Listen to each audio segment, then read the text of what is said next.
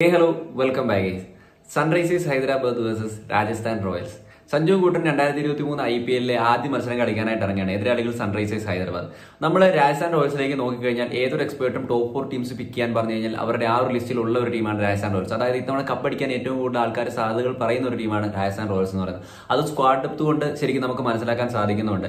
രാജസ്ഥാൻ റോയൽസിലേക്ക് നോക്കിക്കഴിഞ്ഞാൽ ഓപ്പണിംഗ് സൈഡിൽ ഏറ്റവും കൂടുതൽ വരാൻ സാധ്യതയുള്ളത് Yashasvi Jaiswal Jos Buttler ആയിരിക്കും. ജോസ് ബട്ടറിന്റെ ഫോം പ്രത്യേകിച്ച് പറഞ്ഞറിയിക്കേണ്ട കാര്യമില്ല. അതുപോലെ തന്നെ യശു സി ജയ്സ്വാളിലേക്ക് നോക്കിക്കഴിഞ്ഞാൽ ഇത്തവണ ഡൊമസ്റ്റിക് ലീഗിൽ അടിച്ച് കസറി ഒരു പെർഫോമൻസ് തന്നെ അല്ലെങ്കിൽ പ്രൈം ഫോമിൽ നിൽക്കുന്ന ഒരു പെർഫോമൻസ് തന്നെയായിരുന്നു യശു സി ജയ്സ്വാളിന്റെ ബാറ്റിൽ നിന്ന് പറഞ്ഞിട്ടുണ്ടായിരുന്നു അതുപോലെ വൺ ഡൗൺ ആയിട്ടുള്ള തന്ത്രശാലിയായിട്ടുള്ള പവർ ഹിറ്റർ ആയിട്ടുള്ള സഞ്ജു സാംസയെ തന്നെ നമുക്ക് അവിടെ പ്രതീക്ഷിക്കാം.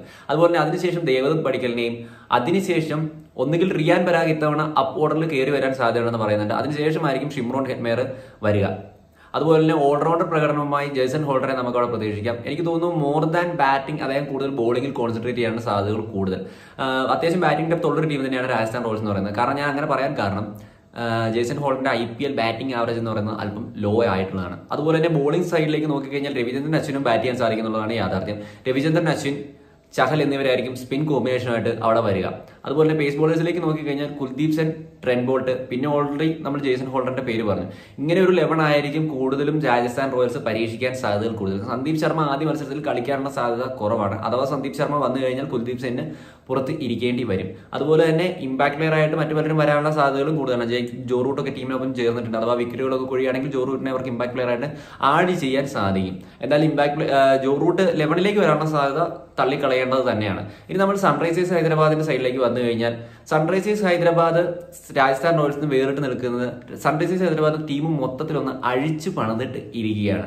അത്യാവശ്യം ഗുഡ് ലുക്കിംഗ് ആയിട്ടുള്ള ഡെപ്ത് ഉള്ളൊരു സ്ക്വാഡ് തന്നെ നമുക്ക് സൺറൈസേഴ്സ് ഹൈദരാബാദിൽ കാണാൻ സാധിക്കുന്നുണ്ട് എന്നുള്ളതാണ് യാഥാർത്ഥ്യം. എസ് ആർ ജിന്റെ ഓപ്പണിംഗ് സൈഡിലേക്ക് നോക്കിക്കഴിഞ്ഞാൽ അഭിഷേക് ശർമ്മ ആൻഡ് മായങ്ക് അഗർവാൾ വരാനാണ് സാധ്യതകൾ കൂടുതൽ. അതുപോലെ തന്നെ ടി ട്വന്റിയിൽ അല്ലെങ്കിൽ ഐ പി എല്ലിൽ നോക്കിക്കഴിഞ്ഞാൽ മികച്ച ആവറേജിൽ കളിച്ചുകൊണ്ടിരിക്കുന്ന രാഹുൽ ത്രിപാഠിയെ നമുക്ക് വൺ ഡൗൺ ആയിട്ട് പ്രതീക്ഷിക്കാം.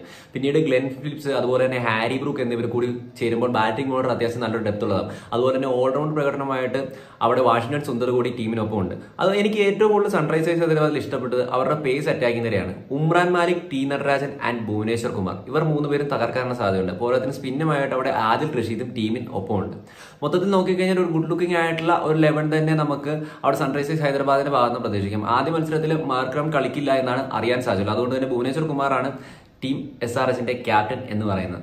അപ്പോൾ എന്തായാലും മത്സരം മുറുക്കുമെന്നുള്ള കാര്യത്തിൽ യാതൊരു സംശയമില്ല ഇവിടെ രാജസ്ഥാൻ റോയൽസിന്റെ ഒരു ഗുണം അല്ലെങ്കിൽ ആ ഒരു അട്രാക്റ്റീവ്നെസ് എന്താണെന്ന് വെച്ച് കഴിഞ്ഞാൽ കഴിഞ്ഞ സീസണിലെ അതേ ഒരു കോർ ടീമിനെ തന്നെ രാജസ്ഥാൻ റോയൽസിന് ഈ സീസണിലും നിലനിർത്താൻ സാധിച്ചിട്ടുണ്ട് എന്നുള്ളതാണ്. സോ എന്തായാലും ഇമ്പാക്ട് പ്ലെയർ ഒക്കെ യൂസ് ചെയ്യുന്ന കറക്റ്റ് ആയിട്ടുള്ള ചോയ്സ് ആണെങ്കിൽ കളി മൊത്തത്തിൽ മാറി മറിയാനുള്ള സാധ്യതകളുണ്ട്. അത് നമ്മൾ കണ്ടിട്ടുണ്ട്. അപ്പോൾ എന്തായാലും നിങ്ങളുടെ അഭിപ്രായങ്ങളും നിർദ്ദേശങ്ങളും കമന്റ് അറിയപ്പെടുത്ത ഈ ഒരു വീഡിയോ ഡിസിഷൻ ബൈ